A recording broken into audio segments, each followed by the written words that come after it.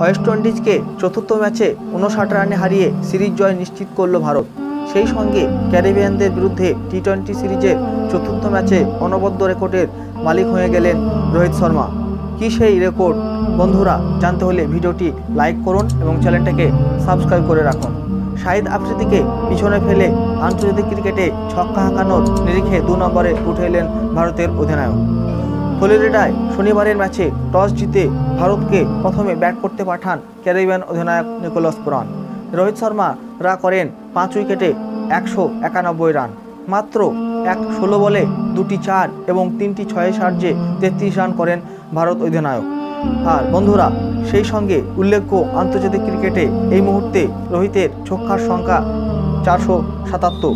এর মধ্যে টেস্টে চৌষট্টিটি, একদিনের ক্রিকেটে দুশো পঞ্চাশটি এবং টি টোয়েন্টিতে একশো তেষট্টিটি ছক্কা হাঁকিয়েছেন তিনি। আফ্রিদি আন্তর্জাতিক ক্রিকেটে চারশো ছিয়াত্তরটি ছক্কা হাঁকিয়েছেন। রোহিতের আগে আপাতত রয়েছেন শুধু ক্রিস গেল তার ছক্কার সংখ্যা পাঁচশো তিপ্পান্নটি। বন্ধুরা, রোহিত শর্মা কি ক্রিস গেলকে ছাপিয়ে যেতে পারবেন? অবশ্যই আপনাদের মতামত কমেন্ট বক্সে কমেন্ট করে জানিয়ে দেবেন। ভিডিওটি কেমন লাগল অবশ্যই কমেন্ট করে জানাবেন। ভিডিওটি যদি ভালো লেগে থাকে লাইক করবেন শেয়ার করবেন এবং চ্যানেলটাকে সাবস্ক্রাইব করে রাখবেন।